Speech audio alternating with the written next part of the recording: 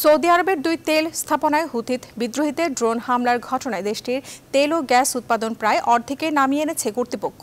এর প্রভাবে দেশটির দৈনিক তেল উৎপাদন সাতান্ন লাখ ব্যারেল হ্রাস পাবে বলে জানিয়েছে সৌদি আরবের জাতীয় তেল কোম্পানি আরামকো। ঘটনাটিতে তেলের মূল্য বেড়ে যাবার পাশাপাশি মধ্যপ্রাচ্যের উত্তেজনা আরও বেড়ে যাবে বলে আশঙ্কা করছেন বিশেষজ্ঞরা। এদিকে শনিবারের এই হামলার পেছনে ইরানের হাত ছিল বলে রুহানি প্রশাসনকে সরাসরি দায়ী করছে যুক্তরাষ্ট্র। নিবির আমিনের ডেস্ক রিপোর্ট।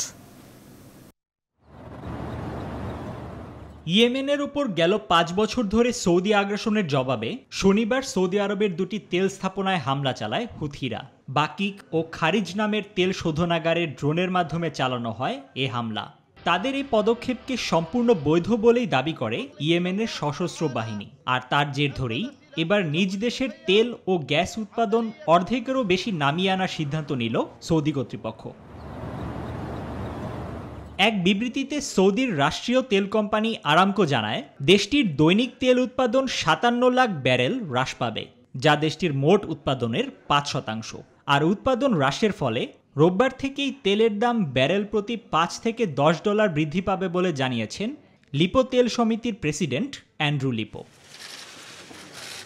হুথিরা তেল প্ল্যান্টে হামলার দায় স্বীকার করে নিলেও ঘটনাটির পিছনে ইরানেরই হাত ছিল বলে দাবি করছেন মার্কিন পররাষ্ট্রমন্ত্রী মাইক পম্পেও। হামলাটি যে ইয়েমেন থেকেই হয়েছে এমন কোনো প্রমাণ নেই বলে এক টুইট বার্তায় মন্তব্য করেছেন তিনি। Discovery of oil in 1938, Saudi Arabia has become the world. বিশ্বের বৃহত্তম তেল রপ্তানিকারী দেশ হিসেবে বহুদিন থেকে সুপরিচিত সৌদি আরব। প্রতিদিন সত্তর লাখ ব্যারেলেরও বেশি তেল রপ্তানি করে থাকে দেশটি। আর উৎপাদন কমিয়ে ফেলার ঘটনার কারণে মুহূর্তেই বেড়ে যাবে তেলের দাম এমনটাই আশঙ্কা করছেন বিশেষজ্ঞরা।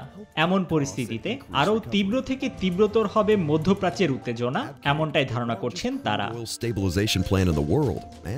নিবির আমিন নিউজ টোয়েন্টি